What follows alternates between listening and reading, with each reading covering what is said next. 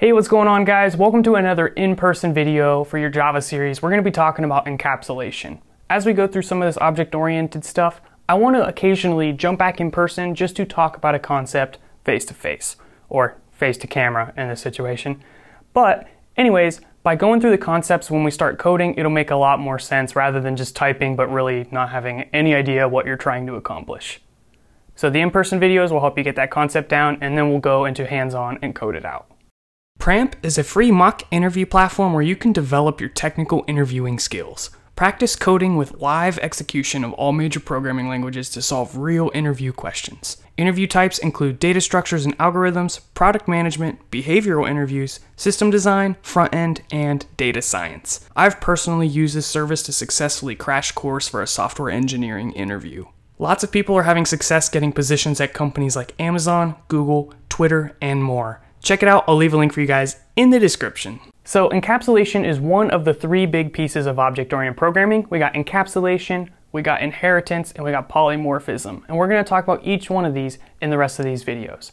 But we're just gonna focus on the, uh, the first one, forgot what it was for a second, encapsulation, which the whole idea of this is to hide the inner details of something. So we can basically encapsulate something, that way not everything is exposed to the whole world. And the biggest place you're going to see this is with class level variables. So let's say we have a variable. You may also hear field or various versions, but essentially we created a variable at the class level, not within a method.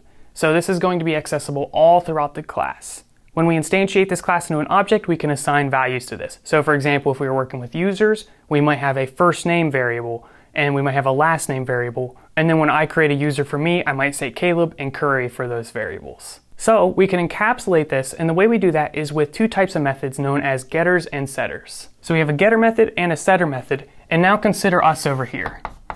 And we want to work with this variable. If we want to get that value, we have to go through the getter, and then it'll give us the value back. If we want to set that value, well then we need to go through the setter, and it'll update that value.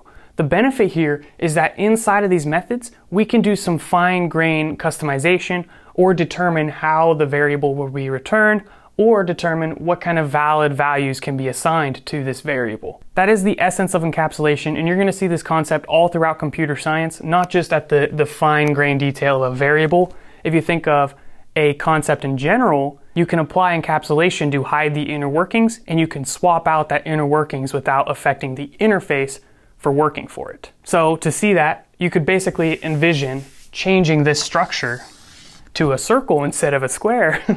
and the actual part over here doesn't change. I'm still working with the getter, I'm still working with the setter, but the structure behind it changes.